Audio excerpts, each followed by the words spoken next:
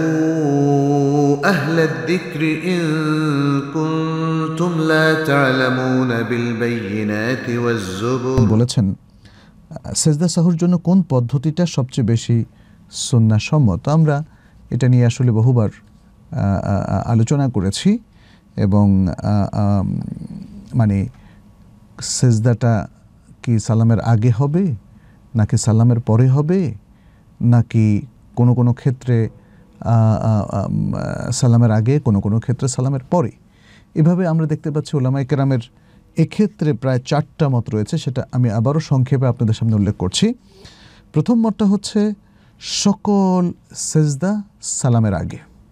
এটা ইমাম শাফি রাহেমাহুল্লার অভিমত এবং তার অনুসারী ওলামাই কেরাম এই মতটিকে অনেকে এখতিয়ার করেছেন, সকলে না না হলেও অনেকেই এখতিয়ার করেছেন। অর্থাৎ তাদের মতে, সকল সাহু সেজদা হবে সালামের আগে।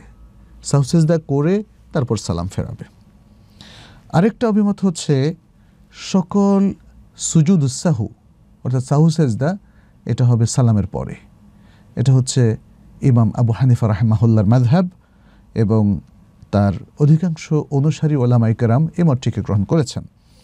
তৃতীয় হচ্ছে, যদি সালাতের মধ্যে কোনো ঘাটতি হয়ে থাকে তাহলে উসাহু বা সাহু সেজদা হবে সালামের আগে। আর যদি সালাতের মধ্যে কোনো অতিরিক্ত কাজ হয়ে যায়, একটা অতিরিক্ত রাকাত নিয়ে আসলো বা অতিরিক্ত সালাম সে করে ফেলল, এই ধরনের অতিরিক্ত কাজের কোনো ঘটনা যদি ঘটে যায় সালাতের মধ্যে, তাহলে সাহুসেজদার জায়গাটা হবে সালামের পরে। তাহলে এই তৃতীয় মতটা মানে একটু বিশদ ব্যাখ্যা করেছে। বলেছে, কোনো কোনো অবস্থায় হবে সালামের আগে, কোনো কোনো অবস্থায় হবে সালামের পরে। জিয়াদাতের অবস্থায় হবে সালামের পরে, আর নকস বা ঘাটতি বা সালাতের মধ্যে কোনো ত্রুটি হয়ে গেলে, যেমন তাশাহুদ বাদ পড়েছে বা আল কায়দ আল উলা প্রথম বৈঠকটা সে ভুলে গিয়েছে, এরকম কোনো ওয়াজিব যখন ভুলে যায়, তখন তার সাউসেজদারটা করতে হবে সালামের আগে। এভাবে তারা পার্থক্য করেছেন। এবং আমরা দেখি যে এই মতটি পোষণ করেছেন ইমাম মালিক রাহমাহুল্লাহ এবং তার অনুসারী অনেক ওলামাইকরাম আর এই মতটি শাফি মাজহাবের কোনো কোনো আলেমেরও অভিমত এবং তারা বলেছেন যে এটা শাফি রাহমাহুল্লারও একটা পুরাতন মত। আচ্ছা চতুর্থ মতটা হচ্ছে ইমাম আহমদ ইবনে হাম্বাল, তার এবং তার অনুসারী ওলামাই কেরাম অনেকে আছেন তাদের। তারা, তাদের মাঝহাবটা হলো এই যে মূলত সালামের আগেই হচ্ছে সকল সেজুদ উসাহু সকল সাহু সেজদা সকল সাহু সেজদা সালামের আগেই করতে হবে, তবে যে সমস্ত জায়গায় হাদিস স্পষ্ট করে সালামের পরে করার কথা বলেছে, হয় নবী সাল্লাহ সাল্লাম সাল্লামের পরে করেছেন অথবা করার নির্দেশনা দিয়েছেন, এরকম হলে যেহেতু হাদিস, ফলে সেটা মেনে নিতে হবে। সেই ক্ষেত্রগুলো ছাড়া অন্য সকল ক্ষেত্রে সালামের আগেই সাজুদ উসাহু করাটা বিধান, এটা ইমাম আহমদ ইবনে হাম্বালের অভিমত। আচ্ছা তাহলে তারা কীরকম বলেছে যে, যেমন যে জায়গা নস এসেছে সালামের পরে হওয়ার কথা, সেটা কি? সেটা হচ্ছে যখন কোনো ব্যক্তি সালাতের মধ্যে কোনো ত্রুটি করে ফেলে, অথবা যদি ইমাম সালাতের মধ্যে কোনো সন্দেহে পড়ে যায়, তারপর সে চিন্তা ভাবনা করে, গালেব জনের উপরে হ্যাঁ নির্ভর করে যদি সে কোনো সিদ্ধান্তে আসে তাহলে তাহলে সেটা সালামের পরে, আর এছাড়া, আর সব জায়গা সালামের আগে, এটা হলো ইমাম আহমেদ ইবনে হাম্বালের অভিমত। এখানে ইমাম ইবনু তাইমিয়া রাহেমাহুল্লাহ, তিনিও বিশ্লেষণ করেছেন। বিশ্লেষণ করে যেই মতটা তিনি পেশ করেছেন আমাদের কাছেও, সেটা খুবই শক্তিশালী একটা মত বলে প্রতিভাত হয়।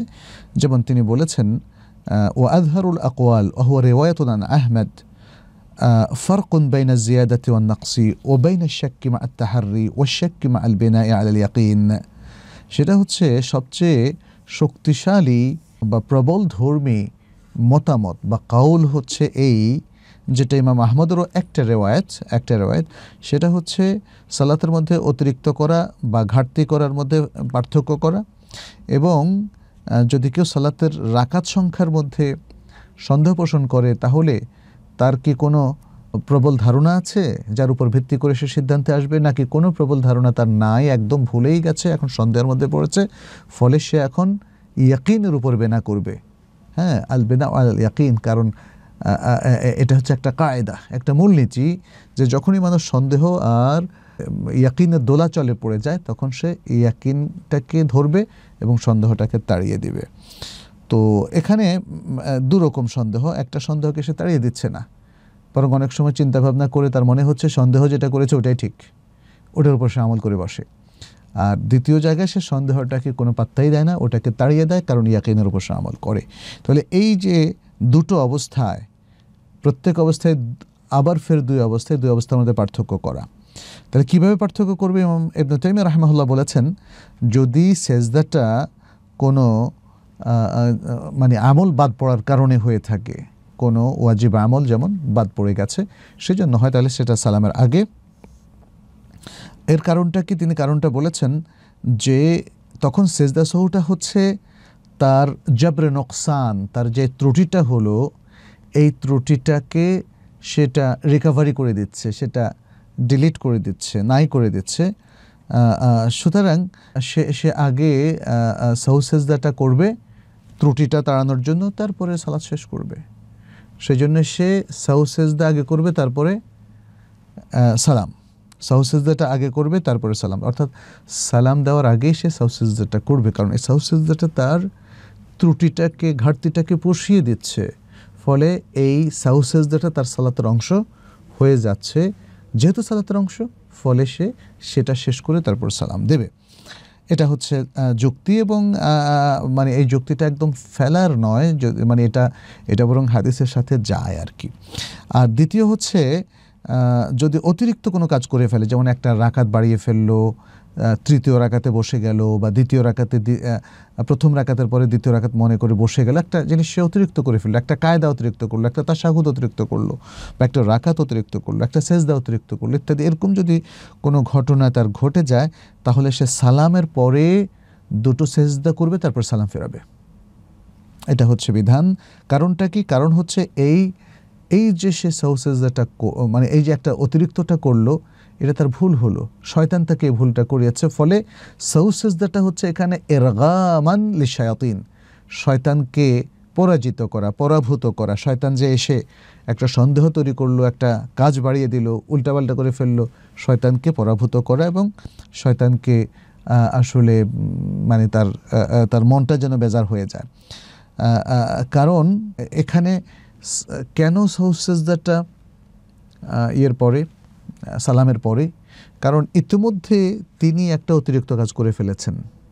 এখন সৌসেজদাটাও কিন্তু সালাতের অংশ না, একটা অতিরিক্ত কাজ এটা একটা বিশেষ প্রেক্ষিতে করার কথা বলা হয়েছে। তাহলে দুটো অতিরিক্ত কাজ সালামের আগে করলে সমস্যা। এই অতিরিক্ত দুটো সেজদা করা হচ্ছে আসলে এরগাব আনলি শায়াতিন, ফলে সে একটা যে জিয়াদা কাজ করেছিল, সেটা মানে তো তার জিয়াদা হয়ে গেছে। সে সালাম ফেরাবে, সালাত শেষ করবে, তারপর দুটো সেজদা করবে, তারপর আবার সালাম ফেরাবে। এটা হচ্ছে এখানে যুক্তি। আচ্ছা একইভাবে যদি সে সন্দেহটা পোষণ করে, তারপরে চিন্তা ভাবনা করে সিদ্ধান্তে আসে, তাহলে সে সহসেজদাটা করবে এরগা মানলে শায়াতিন। যত জায়গায় শয়তানকে আসলে মানে শয়তানের শয়তানকে ধুলোধূসরিত করা বা শয়তানকে অপমান করার জন্য এই সেজদার কথা এসছে, ততবারই হচ্ছে সেটা সালামের পরে। সালাম ফিরিয়ে দুটো সেজদা করে তারপর সালাম ফেরানো। আর সন্দেহের দ্বিতীয় যে বিষয়টা এখানে ইবনে তৈমে উল্লেখ করেছেন, সেটা হচ্ছে যদি সে সন্দেহ করে, কিন্তু এখন তার কাছে আর কোনো রাজে আসলো না কোনটা যে সঠিক এটা বুঝতে পারল না, তখন সে ইয়াকিনের কায়দার উপর চলে যাবে।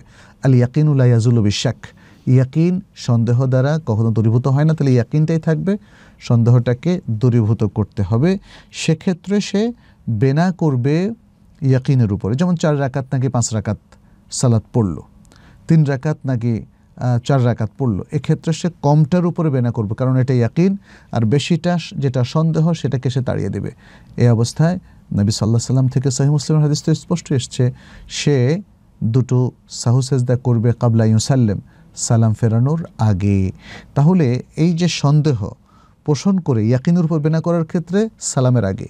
আর যদি সে সন্দেহ করে নিজের চিন্তা ভাবনা কে সে ইফেক্টিভ করে গালেবুদ্দানের উপরে সে আমল করে, তখন সেটা সালামের পরে দুটো সেহুসেজদা হবে।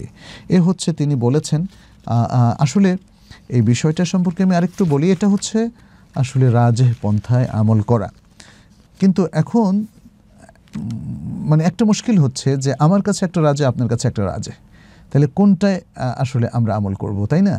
আমরা কি তাহলে যুদ্ধ করব? একজন আরেকজনকে রেফিউট করে ত্রুটি প্রমাণ করে ফেলব? না, সেটাও আমাদের জন্য ঠিক নয়। আমরা রাজে অনুযায়ী আমল করব, সেটা ঠিক আছে।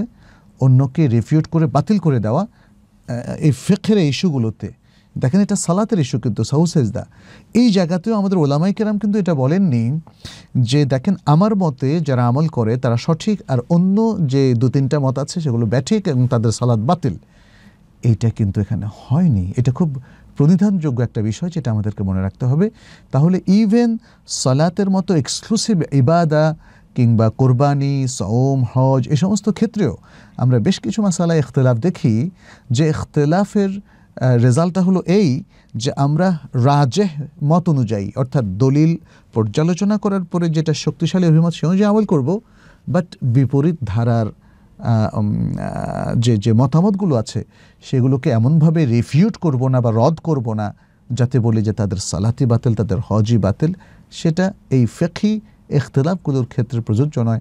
বিশেষ করে যদি সেটা হয় মহাক্কে কোলামাই কেরামের কাছে এবং যদি তারা প্রত্যেকেই কোনো না কোনো দলিলের ভিত্তিতে কথা বলে থাকেন, তবে যদি কোনো জাহেল মানুষ এসে নিজের ইচ্ছাকৃত ভুল মত চাপিয়ে দেয়, তাহলে সে কথা আলাদা, সেটা তো ওলামাই কেরাম খুব সহজে আবিষ্কার করে ফেলতে পারবেন।